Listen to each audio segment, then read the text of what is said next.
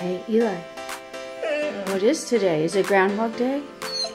It is. You think he's going to see a shadow? You do. We're going to go look. It's almost time. I'm excited too.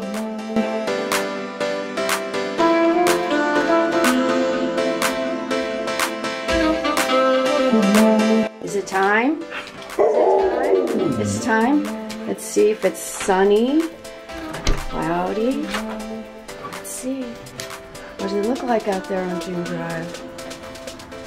Oh. Oh.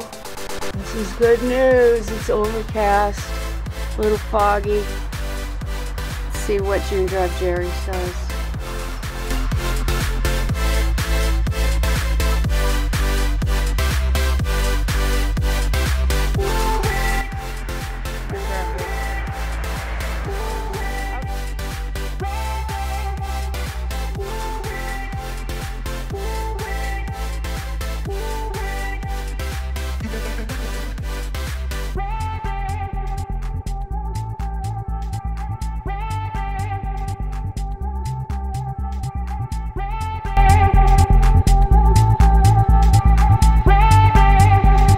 It's Groundhog Day 2024.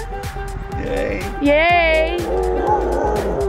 Yeah, we're very excited. Punxsutawney Phil did not see his shadow.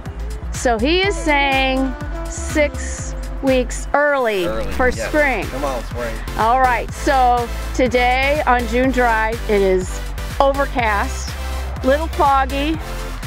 We had 60 degrees yesterday, Yeah. a little sun, Yeah, and a car's coming. and a car is coming. Okay, we're gonna pause.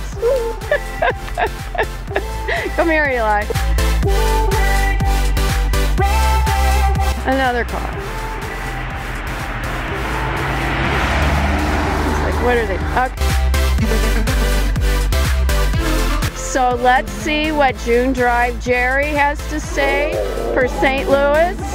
Okay, this is neighbor Jim.